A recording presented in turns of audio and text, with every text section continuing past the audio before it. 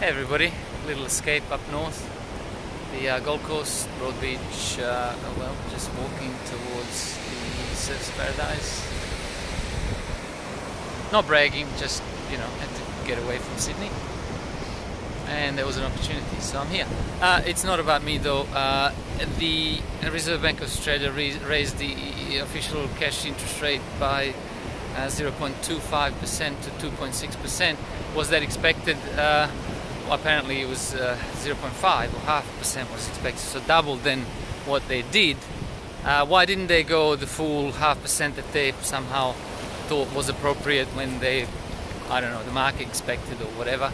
I think that they're too scared that uh, no one's gonna be able to afford to buy the houses, property at the current prices. Uh, we know it has to be that they, they're too afraid they probably don't want to be, unlike the uh, Fed in the US, they were probably too afraid of uh, being blamed for the next recession, which is probably going to come. I'm not, I'm not being negative. There's going to be, again, opportunity during this recession, but um, a lot of people will lose money and some will gain. Unfortunately, what happened during 2020 is that the ones in the know and uh, the the already rich got more richer and the rest of us got poorer. So, and that'll probably happen this time.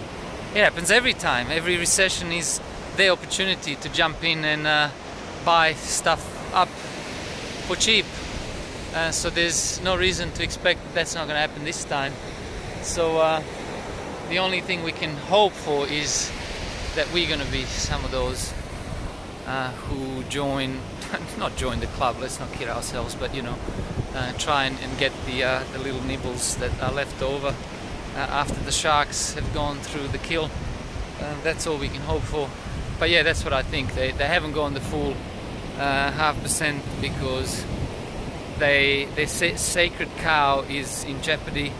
The prices are dropping. I think northern beaches in, in Sydney have dropped most officially by 13 odd percent and that's not a good thing like I said because the property only works if it keeps going even if it flattened uh, and, and it was flat for years. That just wouldn't work because that's not how Ponzi schemes work. And this is a one big debt Ponzi scheme. And what better way to get everybody into debt is than uh, having these big you know buildings and uh, dwellings that we actually need to live uh, go up astronomical and the only way to obtain one or two or three is through credit.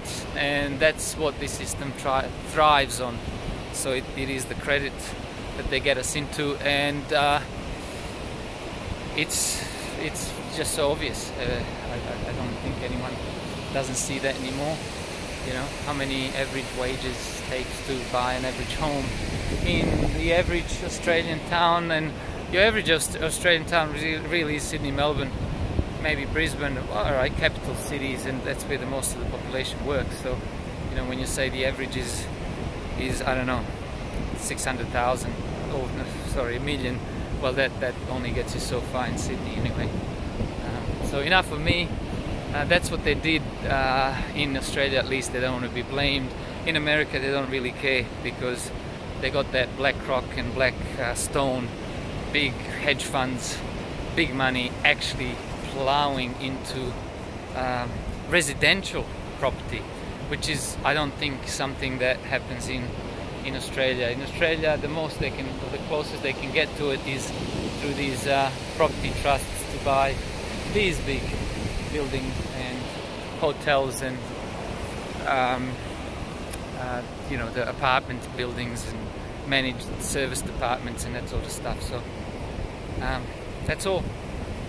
Take care all.